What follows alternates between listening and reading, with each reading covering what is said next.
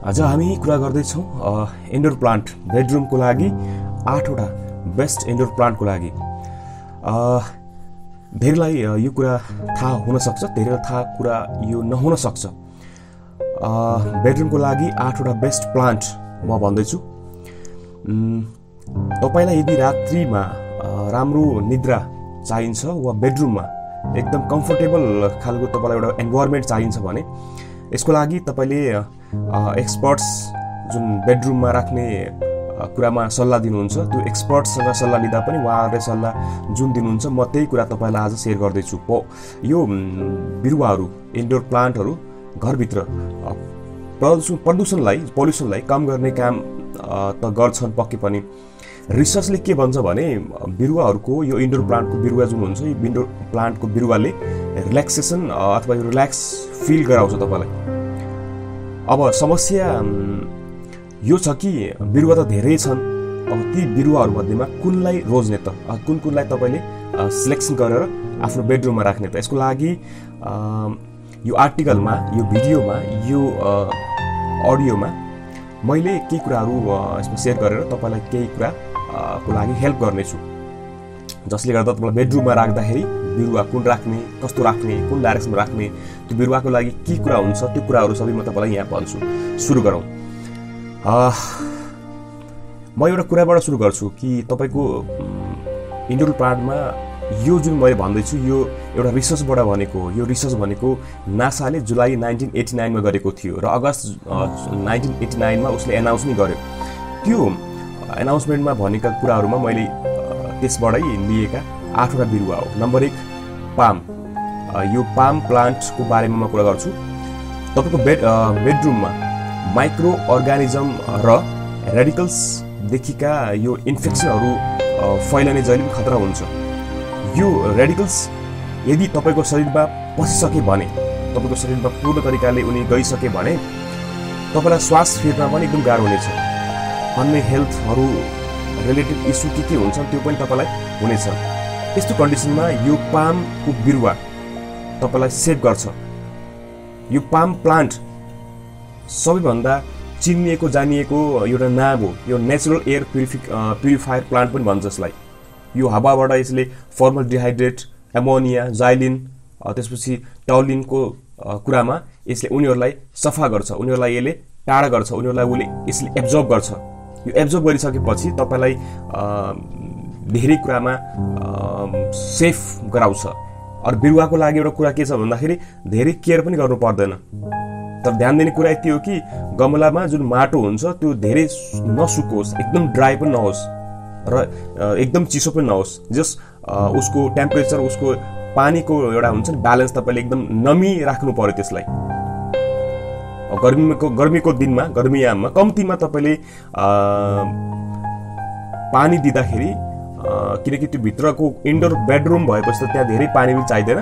जस एकपटक पानी देख्दा हुन्छ पानी छ कि छैन? छैन भने त्यहाँ थोरै पानी राखेर त्यसलाई चिसो बनाउँदा हुन्छ माटोलाई। धेरै चिसो भन्ने जस हल्का नमीवाला चिसो बनाउँदा हुन्छ। सर्दीमा अब तपाईँले कुरा गर्दाखेरि कमसेकम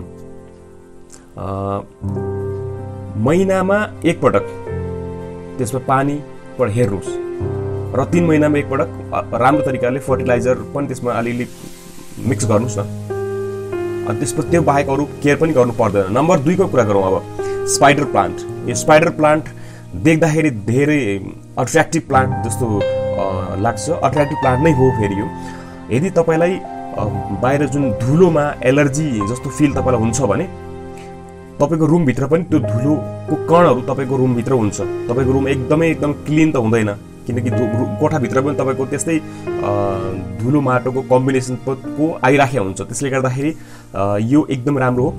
यसले हावाबाट नाइन्टी पर्सेन्टभन्दा पनि धेरै टक्सिनलाई हटाउन सक्छ। भनेपछि सफा हावाको मतलब के भयो भन्दाखेरि इन्फेक्सन हुने खतरा तपाईँलाई कम भयो। तर स्पाइडर प्लान्टलाई अलिकति केयर गर्नुपर्ने कुराहरू यहाँ छन्। यसको लागि गमलामा पुरै तरिकाको सुकेको माटोलाई प्रयोग गर्नुपर्ने हुन्छ। र यसमा पानी एकदमै थोरै एकदमै एकदमै थोरै। लगभग लगभग पानी त स्पाइडर प्लान्टलाई एकदमै तपाईँले थोरै दिने हो। न नको बराबर दिने हो नको बराबर। स्पाइडर प्लान्टलाई चिसोमा। कम्तीमा तेह्रदेखि अठार डिग्री सेल्सियसको मौसम यसलाई मनपर्छ। यस्तो वातावरणमा हुर्किने चिज हो नि यो त। र केही समयपछि अब यसको कुरा गर्दाखेरि आर्टिफिसियल जुन लाइट कन्डिसन हुन्छ नि त्यसैमा यसले ग्रो गर्ने हो। तपाईँलाई पानी माटो भन्ने कुरा एकदम थोरै। माटो सुकेकै भए राम्रो धेरै हाड हाडभन्दा पनि धेरै हाड त नै तर जस ड्राई टाइपको माटो हुनु पर्यो। थोरै पानी हुनु पर्यो तर आर्टिफिसियल लाइट कन्डिसनमा यसले ग्रो गर्ने भएकोले गर्दा यसलाई तपाईँले पानी र माटोमा धेरै कुराहरू केयर गर्नु पर्दैन। त्यो कुरालाई गर्नुहोस्। तर केयर कुन हिसाबले गर्नुपर्छ भने त्यसमा माटो अलिअलि सुकेकै होस् पानी एकदम नको बराबर होस् अनि यसलाई राख्दाखेरि लाइट थोरै पर्ने ठाउँमा राखिदिए भइहाल्यो यसलाई। र महिनाभरिमा जस खादको कुरामा या फर्टिलाइजर राख्दाखेरि थोरै फर्टिलाइजर यसलाई चेन्ज गर्दै अथवा मिक्स गर्दै नयाँ नयाँ फर्टिलाइजर्समा राख्दै गर्नुहोस् किन भन्दाखेरि फर्टिलाइजरले नै यसलाई ग्रो गर्ने हो यसलाई सेभ गर्ने हो। अब तपाईँलाई एउटा यस्तो प्लान्ट चाहिन्छ जुन बेडरुमको लागि हुन्छ नि एउटा एकदमै अट्र्याक्टिभ पनि होस् र त्यस सेम काइन्डको सेम प्रकारको एउटा फिल तपाईँलाई चाहियो त्यस्तै खालको सेफ गर्ने सेफ साइडको एउटा प्लान्ट चाहियो भने लेभेन्डर प्लान्ट पनि तपाईँ राख्न सक्नुहुन्छ। यसको यो बाइक अप्सनमा भनेको मैले तपाईँलाई। बेडरुममा यसलाई धेरै तपाईँलाई उसले केयर गर्नेछ। अब लेभेन्डर भनेपछि बेडरुममा राख्ने एउटा एउटा यस्तो प्लान्ट हो जसलाई चिसो लाग्नु हुँदैन। किनकि यसलाई धेरै चिसो भयो भने यो मर्न नै सक्छ। यसलाई लाइट चाहियो। सूर्यको प्रकाश आउने थोरै अलिकति झ्याल टाइपमा राख्नु पर्यो। तपाईँको विन्डो घरको जुन छ बेडरुमको त्यो विन्डोको एकदम साइडमा जहाँबाट घाम प्रवेश गरोस् यसभित्र लाइट जान सकोस्। त्यस्तो खालको ठाउँमा राख्नुपर्छ यसलाई। त्यसपछि नम्बर मैले प्लान्टको कुरा गरेँ स्पाइडल प्लान्ट नम्बर दुईमा। नम्बर तिनमा लेभेन्डर प्लान्टको कुरा गरेँ। लेभेन्डर प्लान्ट पछि नम्बर फोरमा रोजमेरी प्लान्ट।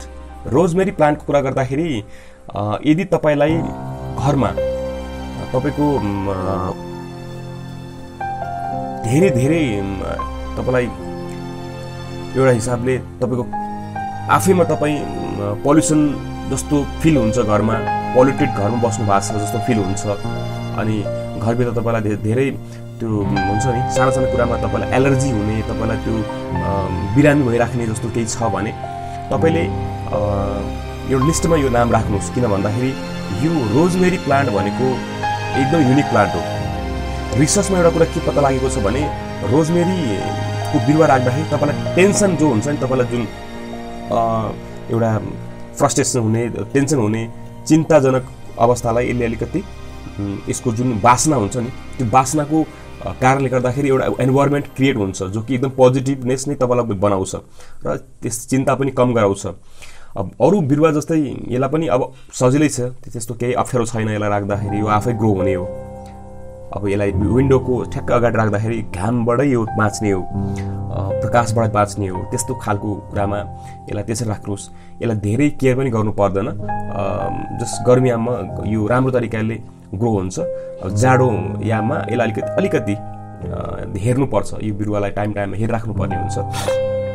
यसको सबभन्दा राम्रो कुरा के हो भने बेडरुममा शान्तिको वातावरण बनाउँछ घरमा यसले। तपाईँको कुल अनि साइलेन्ट टाइपको हुन्छ नि एउटा पिस इन्भाइरोमेन्ट यसले क्रिएट गर्छ तपाईँको र निद्रा पनि तपाईँलाई मजाको लाग्छ। यो बेडरुममा पनि सुहाउने खालको बिरुवा हो। नम्बर फाइभमा कुरा गर्दाखेरि हामी कुरा गरौँ पिस लिली प्लान्टको पिस लिली प्लान्टको बारेमा कुरा गर्दाखेरि यो यो बिरुवा बेडरुमको लागि एकदमै राम्रो। पिस लिली बेडरुममा शुद्ध हावा प्रवाह गर्नको लागि चिनिन्छ। तपाईँलाई यदि श्वास लिँदा कुनै केही समस्या हुन्छ भने तपाईँले यसलाई के अरे राख्दा हुन्छ। अनि रात्रिमा निद्रा राम्रो दिने बिरुवामा एउटा बिरुवा यो पनि हो। यसको केयर गर्न एकदम सजिलो छ। यसलाई धेरै केयर पनि गर्नु पर्दैन। यो प्लान्टलाई हप्तामा थोरै पानी यसको जुन माटो छ त्यसमा दिँदा दिँदाखेरि जस नर्मल ड्राई पनि नै नमी पनि नै जस्ट मिडियम खालको माटो बनाउँदा हुन्छ। अनि बसन्त मौसममा यसलाई अलिकति यसको केयर गर्नुपर्ने हुन्छ। किनकि त्यतिखेर यो बिरुवामा माटोको माटोमा जुन मिनरल्स हुन्छ त्यसलाई अलिकति धेरै चाहिन्छ र ग्रोथ पनि त्यतिखेर यसको धेरै हुने भएकोले गर्दा केयर गर्नुपर्ने हुन्छ। पिस लिली बिरुवालाई अब हेर्दाखेरि एकदम अट्र्याक्टिभ छ राम्रो छ पिसफुल इन्भाइरोमेन्ट दिन्छ रिल्याक्स फिल गर्नुहुन्छ। यस त्यही यसको नाम पिस लिली भएको नम्बर सिक्समा कुरा गर्दाखेरि यो भ्यालिडिन भ्यालिडिन प्लान्ट हो यो अनि भ्यालिडिन प्लान्टको विषयमा कुरा गर्दाखेरि यो एकदमै राम्रो इन्डोर प्लान्ट मानिएको छ। वास्तवमा यसले एउटा यसको एउटा यसलाई यसलाई केयर गर्न पनि आफैमा एउटा च्यालेन्ज पनि हो किन भन्दाखेरि यो धेरै कम जस्तो बाँच्ने गर्छ यसलाई केयर नगरियो भने। अब यसलाई कम्तीमा छ घन्टा त यसलाई प्रकाश चाहियो छ घन्टा पाँचदेखि छ घन्टा चाहियो प्रकाश चाहियो। अब आज भोलि त अब वर्क फ्रम होमको टाइम छ त्यसले गर्दाखेरि यसलाई धेरै तपाईँले के गर्न टाइम पनि पाइहाल्नुहुन्छ। अब यो बिरुवाको लागि यसलाई विन्डो अब झ्याल नजिकै राख्नुहोस् आफ्नो घर बेडरुमको। अनि बिहान सक्नुहुन्छ भने घाममै राख्नुहोस् बाहिर एकछिनको लागि। यसरी यसको अलिकति यसलाई केयर पनि यसले हुन्छ अनि यसले पाउने खुराक जुन प्रकाश छ यसले राम्रो पाउँछ। अनि थोरै मिहिनेत यहाँ गर्नुपर्ने हुन्छ। रिसर्चबाट के थाहा भएको छ भने भ्यालेरियन जुन प्लान्ट जो फुल छ यो यो प्लान्टबाट यसको जुन बासना छ त्यसले गर्दा निद्रा पनि एकदम मजाको आउने सुगन्धबाटै तपाईँलाई निद्राको फिल गराउने भन्ने छ। अनि यो बिरुवामा खास आइसोमोनिया आइसोमनिया को को बिरामी जति हुन्छन् त्यसको लागि एउटा हतियार हो यो टुल हो यो। अनि यो बिरालो हुन्छ नि बिरालो बिरालोलाई यसको यसको बासना राम्रो लागेको कारण लागेकोले पर्दा गर्दाखेरि यसलाई घरमा बिरालोहरूबाट अलिकति टाढा राख्नुहोस् किन भन्दा उनीहरूले मन पराएको कारणले गर्दा यसलाई उनले उसँग खेल्न खेल्ने गर्छन्। त्यो खेल्ने गर्दाखेरि यो बिरुवा मर्न पनि सक्छ। Number seven gerbera daisy plant यो गार्बेरा डेजी प्लान्टको विषयमा कुरा गर्दाखेरि यो एकदम राम्रो। टक्सिन्सबाट यसले तपाईँलाई एकदम मुक्ति दिन्छ। गार्बेरा डेजी प्लान्ट लाई भनिन्छ कि यसको वासनाले गर्दाखेरि आपको तपाईँको तपाईँको मुड एकदम राम्रो बनाउँछ एकदम रिल्याक्स फिल गराउँछ।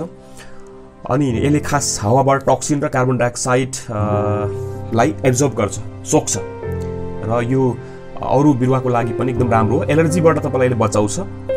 यसको केयर गर्न एकदम सजिलो छ। खासै अप्ठ्यारो छैन। हप्तामा एक दुई पटक यसलाई पानी दिनु पऱ्यो माटो यसको लगभग सुक्खा सुक्खा माटो हुनु पऱ्यो यसलाई यसलाई धुप पनि घाम पनि धेरै चाहिँदैन। घाम नभएको धेरै नचाहिएकोले गर्दाखेरि यसलाई विन्डोसँग थोरै ग्यापमा राख्दा पनि हुन्छ। यो बिरुवा सबैको लागि होइन। यदि तपाईँलाई अलिकति भए पनि च्यालेन्ज स्वीकार छ किन भन्दाखेरि यसलाई बचाउन गाह्रो छ नि। यसलाई अलिकति सेभ पनि गर्नु पऱ्यो किन भन्दाखेरि यो प्लान्ट भनेको अब घरको टेम्परेचर भन्दा पनि तपाईँको कुनै न कुनै तपाईँले टाइम दिन सक्नु भएन किन केयर पनि गर्नु पऱ्यो नि थोरै भए पनि केयर गर्नु पऱ्यो। हप्तामा एक दुई पटक पानी हाल्ने कुरामा पनि तपाईँले त्यो पनि गर्नु भएन भने तपाईँलाई अलिकति यहाँनिर बिरुवा मर्न सक्छ। त्यसले गर्दाखेरि कुनै पनि बिरुवालाई हप्तामा एकपटक महिनामा एकपटक अथवा दुई हप्तामा एकपटक तपाईँले टाइम दिनुपर्ने हुन्छ। नम्बर एटको कुरा गरौँ एलोभेरा प्लान्ट एलोभेरा प्लान्टको कुरा गर्दाखेरि यो सबभन्दा यो हुन्छ नि एकदम एकदम सिम्पल प्लान्ट हो यो। एकदम सिम्पल प्लान्ट यसलाई धेरै पनि केयर गर्नुपर्ने केही छैन। यसलाई खास भनिन्छ कि यसको नाम खास यो कल्चर्सको हिसाबले अब अल्टरनेटिभ मेडिसिन्समा एलोभेरा अब थेरापिस्टहरूले पनि युज गर्ने यही हो। अब त्यसले गर्दाखेरि एकदम राम्रो छ। यो तपाईँको फेसको लागि तपाईँको स्किनको लागि पनि एकदम राम्रो फेरि। यो बिरुवाले रातिमा अक्सिजन एकदम राम्रो दिने गर्छ। यसले गर्दाखेरि बेडरुममा एलोभेरा राख्नै पर्ने हुन्छ तपाईँले। किन भन्दाखेरि रातिमा सुत्दाखेरि तपाईँलाई धेरै अक्सिजन चाहिन्छ नि। अब तपाईँलाई थाहा छ नर्मली मान्छेले कति लाख लिटर तपाईँको अक्सिजन चाहिन्छ एक दिनभरिमा। त्यसमध्येमा राति त साठी पर्सेन्टभन्दा बढी त अक्सिजन राति चाहिँदो रहेछ। त्यसले गर्दाखेरि यो रातिमा एकदम राम्रो हावाको क्वालिटीमा राम्रो बनाउँछ यसले। हावाको क्वालिटीमा एकदम फिल्टर गरेर राम्रो बनाएकोले गर्दाखेरि तपाईँलाई एकदम राम्रो हुन्छ। यसलाई धेरै पानी पनि चाहिँदैन धेरै घाम पनि चाहिँदैन। यो एक हप्तामा एकपटक यसलाई केयर गरे पनि पुगिहाल्यो। त्यसले गर्दाखेरि यसलाई तपाईँले आफ्नो बेडरुममा राख्दा राम्रो। यो खास बिगिनर गार्डनरहरूको लागि एकदम राम्रो जो सुरुवाती टाइममा जसले बिरुवाहरू राख्दैछन् उनीहरूको लागि एकदम राम्रो हो। मैले आठवटा बिरुवाको बारेमा आठवटा इन्डोर प्लान्टको बारेमा भनेको छु। यो इन्डोर प्लान्टको बारेमा तपाईँलाई अरू केही जिज्ञासा केही कुराहरू केही क्वेसन केही क्वेरी छ भने मलाई तपाईँले कमेन्ट बक्समा लेख्नुहोस्। धन्यवाद।